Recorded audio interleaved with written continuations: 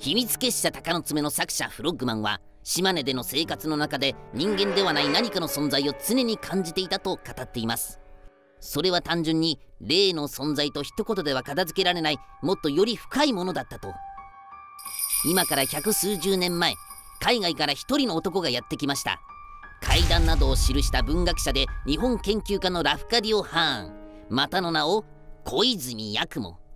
彼は耳なし芳一や雪女などで有名な怪談を執筆したことで知られていますが彼もまた島根県松江市での暮らしの中で超自然的な存在とそれらを畏敬し共に暮らす人々の生活に感銘を受けました。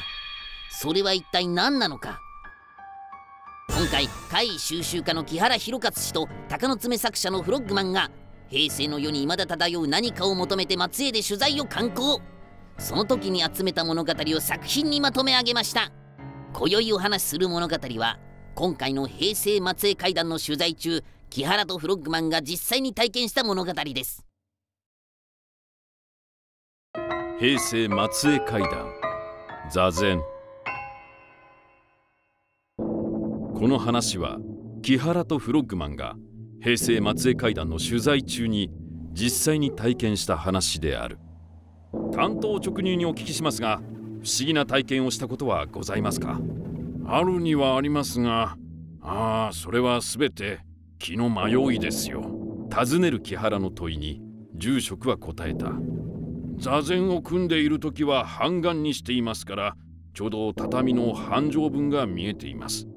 そうしているとごくたまに目の前の畳の上に亡くなった両親や友人たちの顔が現れたかと思うとそのまま湧き出すように体全体が現れるのです立っているだけの時もあれば視界の端で歩き回っている時もありますしかしこれは全て頭の中で作られたもので気のせいの類です住職は先代に気にするものではないとそう教えられたのだというだから幽霊などというものはないのですよと住職は締めくくった。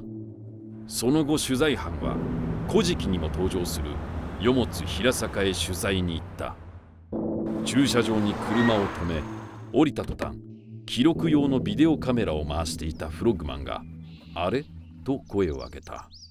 見るとカメラはすぐ先のアスファルトの上に向けられている。どうしたんですか？いやあのこれ。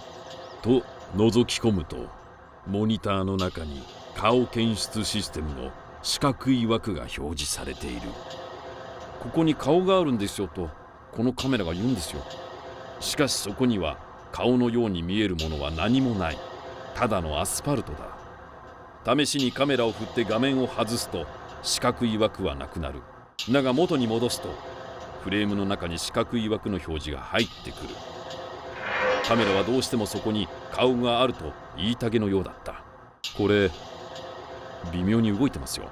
とフロッグマンが言うと突然その四角い枠が動き出し本書の編集担当者の前まで行くとふと消えてなくなった。まるで先ほどのご住職の話とそっくりですね。同行していた者がこれを見てぽつりとつぶやいた。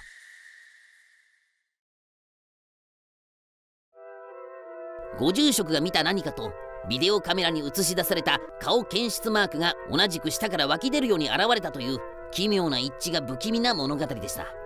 実際古代日本の黄泉の国は地面の下にあると考えられていたわけですからひょっとするとちなみに島根にはあの世とこの世が出会う場所が複数存在しています。もしかしたら松江に来たら皆さんのご先祖にも出会えるかもしれませんよ。では今宵はこの辺りでバイバイ。